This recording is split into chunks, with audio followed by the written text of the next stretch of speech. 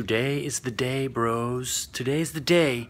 The day that I clean out the ducks from the dryer.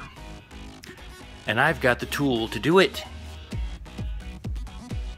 Oh yeah, that's good stuff there. Yeah, yeah, that goes up in there.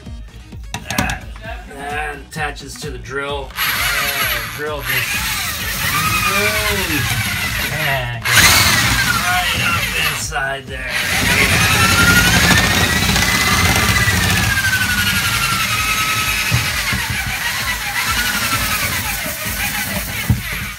It looked like a lot came out. I'm gonna look inside the uh, vacuum cleaner.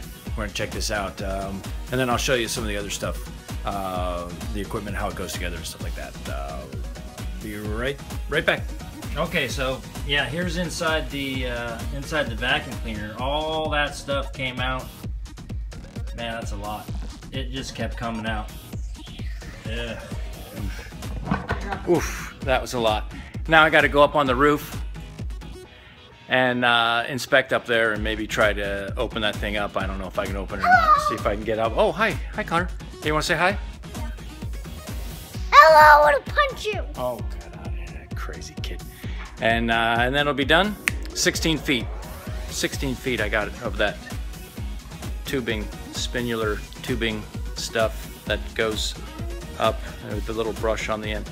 Okay, last but not least, then, just on the roof here, my old apparatus and I'm just gonna stick it in this hole right here right up in there so uh, I almost forgot I was gonna show you this um, whole rig and how it all goes together uh, but uh, don't judge me because you know I actually do work on this workbench and so yeah I know it's a mess but so here here's the drill. You could use a cordless drill of course but I was on the inside. I didn't really need to use that and so it just goes right in there locks right in these plastic tubes.